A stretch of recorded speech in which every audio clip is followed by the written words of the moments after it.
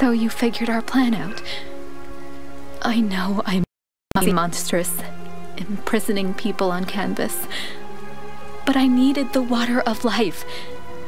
Tonight's my last chance to break the curse. I came to reclaim the honor of my ancestors. I was faced with a choice. Burn the portrait, or help the princess. I chose to help her. I'm sorry I put your life at risk, but I couldn't allow you to meddle. We wondered why Alita refused to get in the boat. She knew that we needed to raise the road to the islet to reach the water of life. We still need Alita to claim it, however. Please, would you get her for me?